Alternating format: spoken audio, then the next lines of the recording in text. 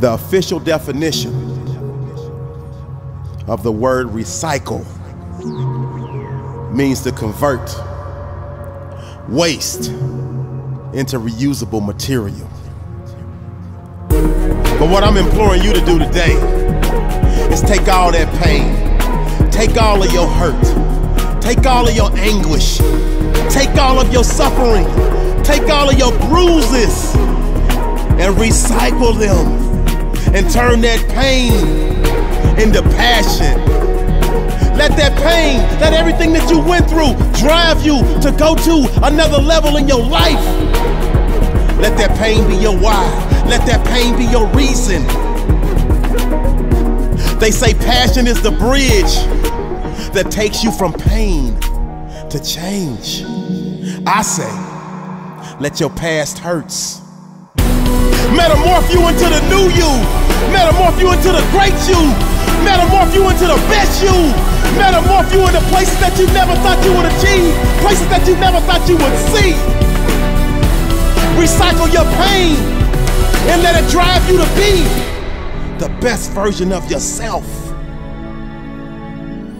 I implore you to grow through everything that you go through.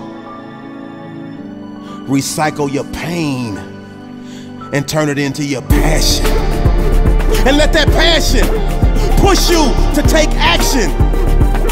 The necessary steps that one day will lead you to arriving at the doorstep of your dreams. Turn your demons into friends, your shadows into art, your fear into fuel, your failures into teachers, your weaknesses into reasons to keep fighting. Don't waste your pain. Make that pain count for something. Twist it, flip it, turn it, and recycle your pain. And turn it into your passion. All I'm asking is for you to take your greatest pain and turn it into your greatest strength.